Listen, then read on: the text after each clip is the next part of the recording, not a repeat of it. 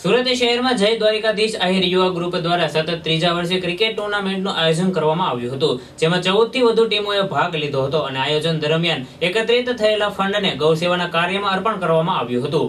સુરત શહેરમાં અડાજણ વિસ્તારમાં આવેલા મણિબા સ્ટેડિયમ ખાતે જય દ્વારકાધીશ આહિર યુવા ગ્રુપ દ્વારા સતત ત્રીજા વર્ષે ક્રિકેટ ટુર્નામેન્ટનું આયોજન કરવામાં આવ્યું હતું, જેમાં ચૌદથી વધુ ટીમોએ ભાગ લીધો હતો. અને આયોજન દરમિયાન એકત્રિત થયેલા ફંડને ગૌ સેવાના કાર્યમાં અર્પણ કરવામાં આવ્યું હતું. આ દરમિયાન મોટી સંખ્યામાં દાતાઓ ઉપસ્થિત રહી ટુર્નામેન્ટને સફળ બનાવી હતી.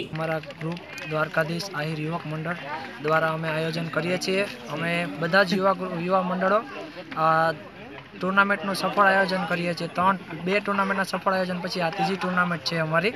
અમે દર વર્ષે ગાયોના લાભ માટે ગૌશાળાના લાભાર્થે આ ટુર્નામેન્ટનું આયોજન કરીએ છીએ.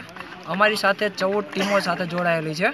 યુવાનો આહિર સમાજના મળી અને રમત રમે અને બધા એકબીજાને મળે અને જે કાંઈ આની અંદર ફંડફાળો જે કંઈ થાય તે પણ અમે અહીંયા ગૌશાળાની અંદર આપીએ છીએ. અને બધાનો અમને સમાજમાંથી અને વડીલોનો અમને પૂરેપૂરો સાથ અને સહકાર મળે છે. જેથી કરીને અમે આ આવડું મોટું આયોજન કરી શકીએ છીએ. કનૈયા ભરવાડ, આઝાદ ન્યૂઝ સુરત.